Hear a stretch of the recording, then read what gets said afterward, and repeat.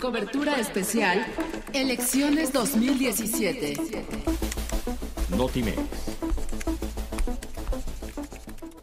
Con motivo de la jornada electoral que se lleva a cabo en los estados de México, Nayarit, Coahuila y Veracruz, el Consejo General del Instituto Nacional Electoral sesionó de manera extraordinaria la mañana de este domingo.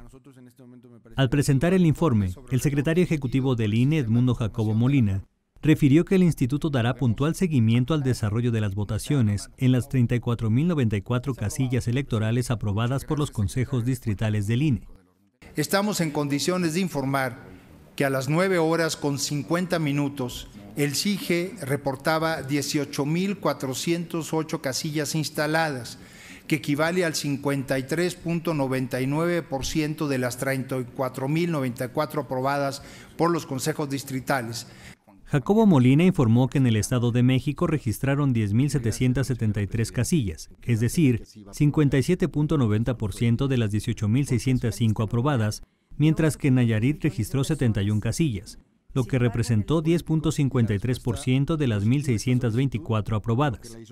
Asimismo, indicó que dada la diferencia horaria en el estado de Coahuila, se reportaron 1.172 casillas, equivalente a 32.31% de las 3.627 aprobadas, en tanto que en Veracruz se habían instalado 6.273 casillas, equivalente a 61.39% de las 10.219 aprobadas.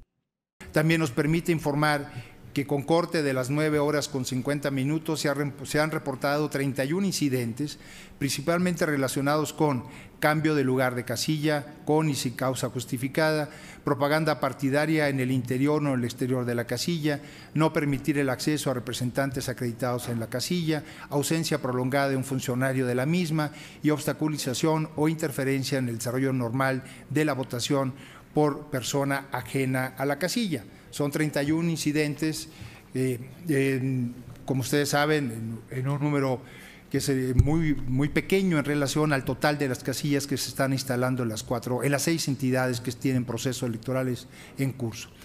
El secretario ejecutivo del INE recordó que la integración y ubicación de casillas es una atribución exclusiva del INE, derivado de la reforma electoral 2014, por lo que este domingo se dará seguimiento puntual al desarrollo de la jornada electoral y se informará periódicamente a la sociedad y actores políticos sobre su desarrollo. Cabe recordar que la jornada de este domingo contempla además las dos elecciones extraordinarias en los estados de Oaxaca y Tlaxcala. Con información de Araceli Rivera, Notimex.